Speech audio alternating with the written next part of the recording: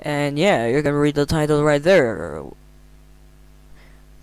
So yeah, hello everybody. My name is Sheamus Mii, and welcome to Starblood Ar Arena. So yeah, we're gonna play the game. It's kind of like a space Star Wars type of game, race like sky ro robots type of flying. I fucked up. It's like a like a starfighter assault, like in Star Wars Battlefront games. Like they fly and shoot and that type of stuff.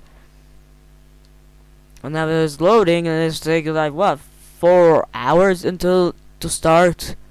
This probably never ends. So yeah, people. Um, I'm just gonna go check Google for this. So yeah, I'm just going to the laptop, leaving the microphone on, so I just check.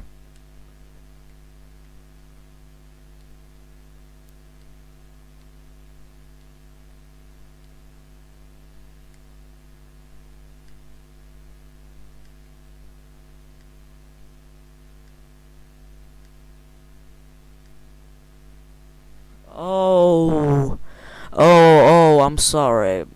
Um, this is a VR game. Um, I'm sorry, people. I just, I think I just wasted money for this, but okay.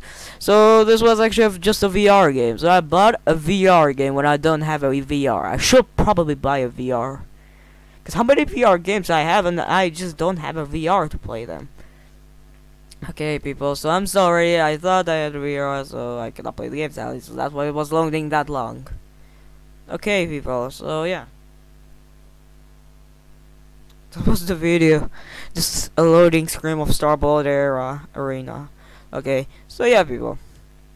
I guess don't forget to broke a like button in the face. And as always, I'll see you in the next video. Bye bye.